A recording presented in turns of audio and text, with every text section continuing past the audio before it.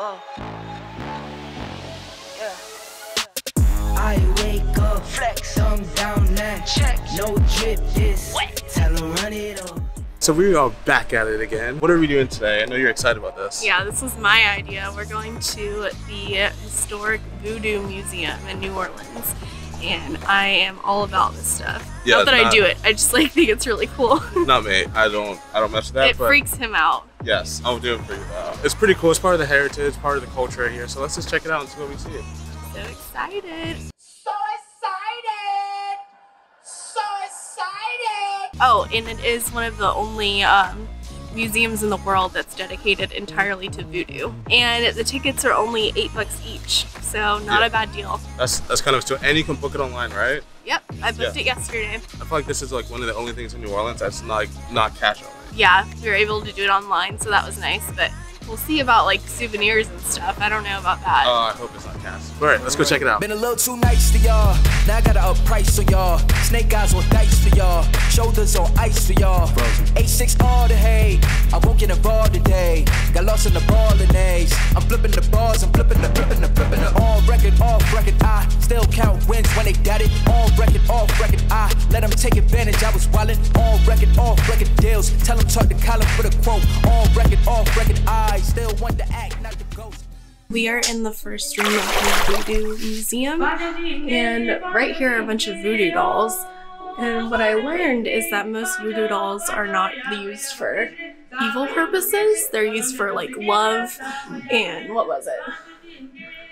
Love, healing, success. So I guess it's a misconception that they're always used for like, you know, you see people in the movies like stabbing a voodoo doll to make someone Oh, my voodoo doll of mom. Yeah, totally throw. It never worked anyway. Ow! What the hell was that? Oh, keep. All right, so don't mind me. I have this in my front because it's really tight in here, and I don't want to knock everything over. I don't want to touch anything, honestly, because I don't want anything to transfer me. Because I don't do, I don't mess with that. Well, this is the Rougarou. Supposedly, it's uh, like an evil spirit, I believe. So this is a cross between a French werewolf and I believe an African vampire. And like long story short, it's scared. It takes souls, but it's scared of frogs, and you can destroy it by throwing salt on it. And the funny thing is, it's kind of like the basilisk from Harry Potter, where if you look it in the eyes, it'll steal your soul.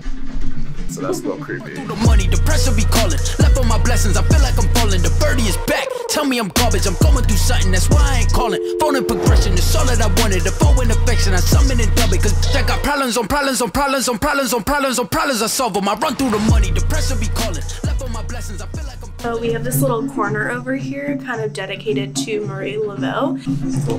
And if you don't know who that is, she is one of the most famous um, people associated with voodoo. I actually only knew her from American Horror Story season 3 Coven, but she was very much a real person and was known as kind of like the voodoo queen of New Orleans. Well, the next needle I use will put a hole in your heart. I did not know that. I thought that character in, in American Horror Story was made up, but I guess she is a real woman in uh It's actually several characters in that season are real historical figures.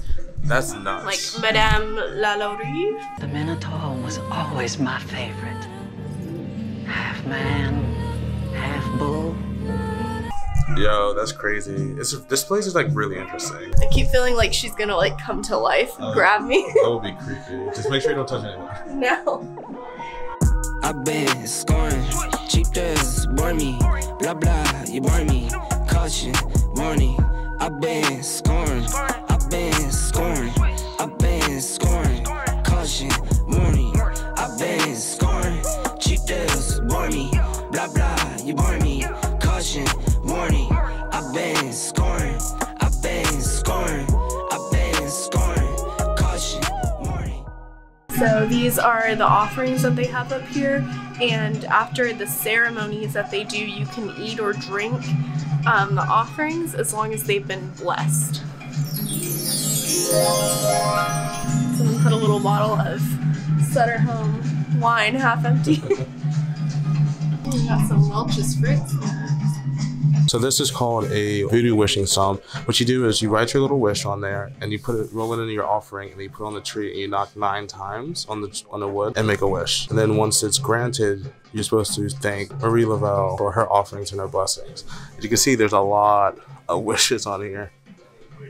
The voodoo ceremony, you're dancing to be able to get possessed by the spirits.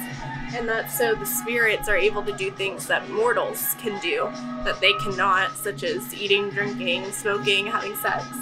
Um, and what I think is really cool, the West African word for sex is jazz, so J A S S. But what we know it today is jazz.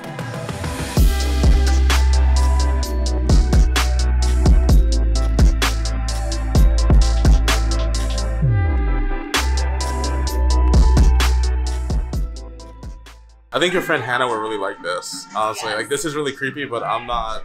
She loves Ouija boards. No, thank you. So, Christopher, you see this? You don't need to come here. Like Laura and Hannah can come here by themselves, and Hannah can set up her little Ouija board on the ground. Perfect. Right And do her little crazy dance. So I think this is a really cool thing. This is called a horse skull, and it was meant to serve as a warning for people to stay out of certain areas. If you saw this on a house, it would mean like there's disease running rampant and stuff like that. So like stay away.